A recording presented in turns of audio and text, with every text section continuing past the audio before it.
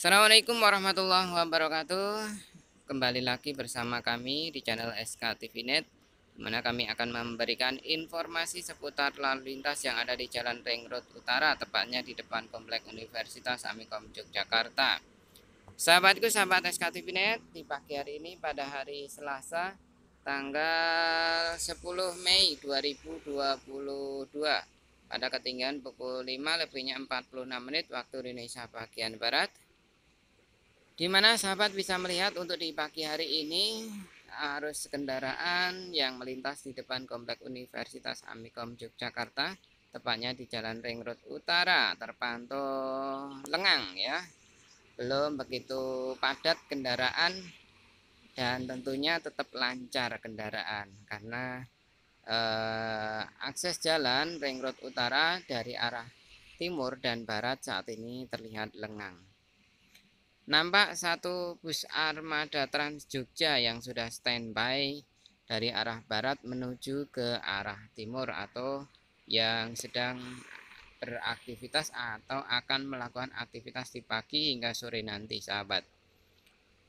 Sahabatku, sahabat SKTV Net, kami kembali menghimbau pada sahabatku yang kebetulan sedang melakukan aktivitas aktivitas berkendara terutama bagi sahabatku yang beraktivitas e, berkendara dengan jarak jauh. Apabila sahabatku mengalami lemah letih bahkan mengantuk silakan sahabatku untuk beristirahat. Silakan mencari tempat-tempat yang aman untuk beristirahat. Sahabatku sahabat SKTV Net jangan memaksakan diri di saat kondisi badan kita mengalami lemah letih bahkan mengantuk karena akan membahayakan diri dan juga orang lain dan juga tak lupa kami mengingatkan kepada sahabatku untuk selalu mempergunakan sabuk pengaman bagi sahabatku yang menggunakan kendaraan roda 4 atau lebih. Dan juga kami menghimbau pada sahabatku untuk uh, menggunakan kecepatan kendaraannya secara bijak. Selalu cek kontrol kondisi kendaraan sahabat agar dalam melakukan perjalanan sampai ke tujuan masing-masing dengan selamat, aman, dan lancar.